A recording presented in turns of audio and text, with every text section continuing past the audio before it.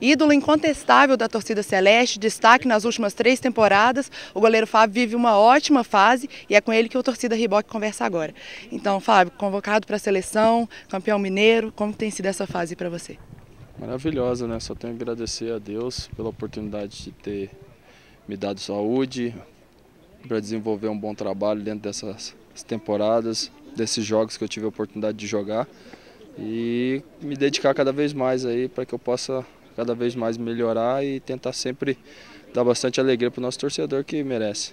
Isso, a gente vê sempre que nas suas entrevistas você cita muito a sua família, quando você não está em campo ou, ou, concentrado, é com eles que você passa as horas vagas? É, quando tem a oportunidade, pouco tempo que a gente tem de folga, com certeza é sempre junto dos meus filhos, da minha esposa, todos os parentes quando tem a oportunidade viajar fica difícil, a gente espera sempre que eles venham nos visitar e quando está todo mundo aí a gente aproveita bastante para que a gente possa recuperar as forças e se dedicar cada vez mais quando está nos treinamentos e nos jogos. E a expectativa aí para o Brasileirão?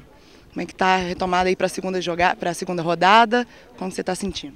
O time está muito bem, acho que independente da derrota, são coisas que acontecem.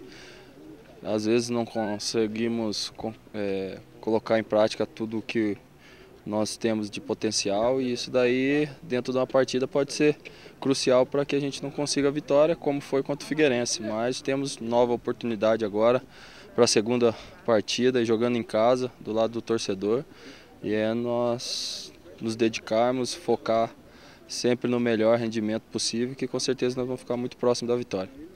É, não dá para negar que você é xodó dos torcedores cruzeirenses e eu queria que você convidasse os torcedores a irem à Arena do Jacaré, levarem o time para frente. Manda um recado para eles. O torcedor cruzeirense já vem nos ajudando muito é, ao longo desses anos e a tradição é, é incontestável aí do torcedor sempre incentivando, empurrando a equipe e com certeza nesse jogo vai estar presente, nós precisamos para que a gente possa conseguir a primeira vitória e aí sim buscar o nosso objetivo que é ser campeão brasileiro também.